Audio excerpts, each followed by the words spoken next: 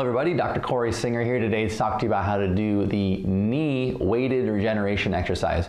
And this is for anybody that's dealing with uh, osteoarthritis. They're in other words, they're getting that uh, separ- that that separation that's supposed to be between the bones is starting to come together. It's called it's part of hip uh, sorry knee osteoarthritis.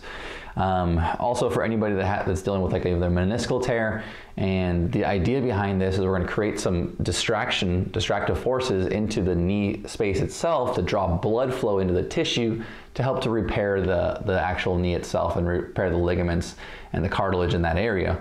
Um, and to do it, you're going to want to get a couple ankle weights like this. Um, probably 10, 10 pounds at least, 10 to 20 pounds.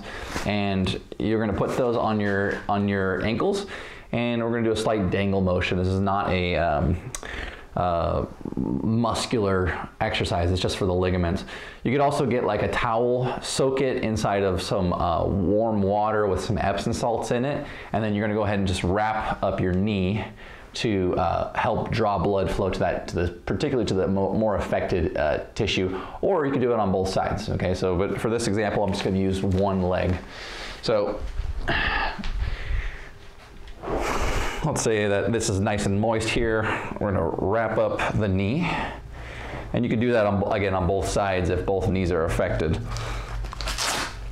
And so you'll take your ankle weight,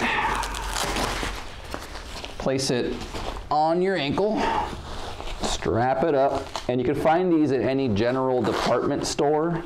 Uh, more like like Walmart or you know uh, like a big fight like a sporting store things like that they'll have these. And or you can always find them online. So just place them like that. Get the next one here strap it up. I already strapped the other one up for time saving purposes. And then again, you want to you want to get a, a, a, bench that's tall enough to where your feet are going to be able to dangle off the floor.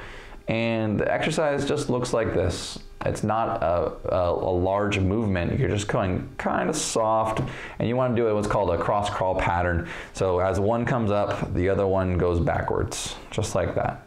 So back and forth, and just like that. And